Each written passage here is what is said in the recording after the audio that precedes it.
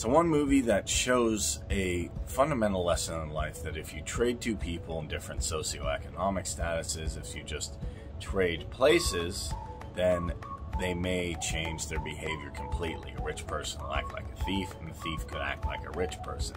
That's why I love trading places so much.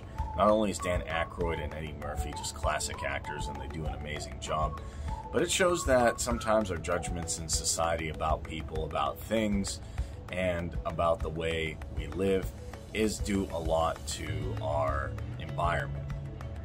And when we significantly change that environment, even for different people, for different backgrounds, they will act and behave differently, completely. And interestingly enough, it also has a little stock market video at the end, which I really, really appreciate with current times. So, if you haven't pulled up this classic, check out Trading Places with Eddie Murphy and Dan Aykroyd.